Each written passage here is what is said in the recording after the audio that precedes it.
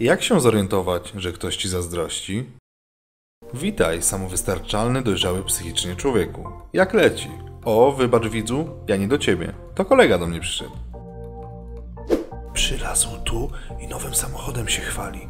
Ale nie no, coś ty. Ja mu wcale nie zazdroszczę. Jestem pewien, że ty też nigdy przenigdy niczego nie zazdrościsz. Ale jak się zorientować, że ktoś tobie zazdrości? Podziel się z nim radosną nowiną. Będzie mu przecież bardzo miło ją usłyszeć.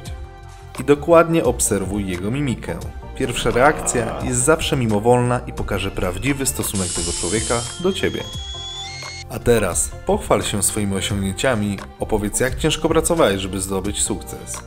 I dowiedz się, że właściwie nic szczególnego nie zrobiłeś. Po prostu ci się poszczęściło. Witamy, umniejszanie wartości.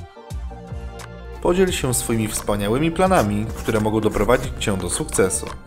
I usłysz, że lepiej się za to nie zabierać. Mało tego, tylko stracisz czas, a nic dobrego nie osiągniesz.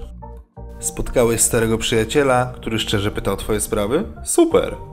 Ale dlaczego właściwie interesują go tylko twoje niepowodzenia, a o sukcesach nawet nie chce słyszeć? Ależ dzisiaj elegancko wyglądasz. Tak, komplementy są przyjemne. Ale nie wtedy, kiedy są nieszczere. Inaczej sprawa od razu jest jasna. Zazdroszczą ci. Postanowiłeś zmienić fryzurę i sprawić sobie jeża pigmejskiego? Ale z ciebie oryginał.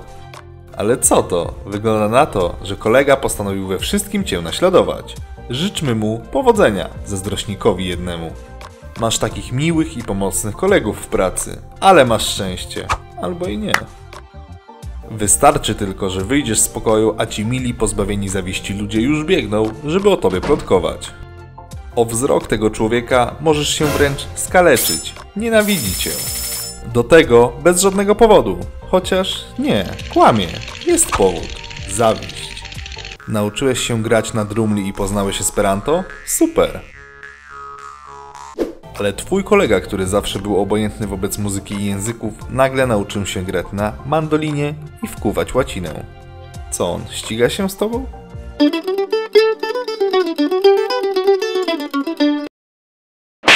Good job, bro.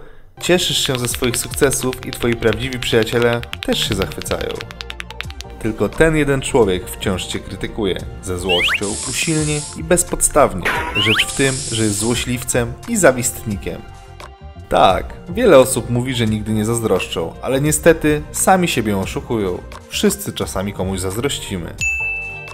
Ale czy potrafisz obrócić zazdrość na swoją korzyść? Jak? Po prostu niech stanie się ona bodźcem dla Twoich własnych sukcesów.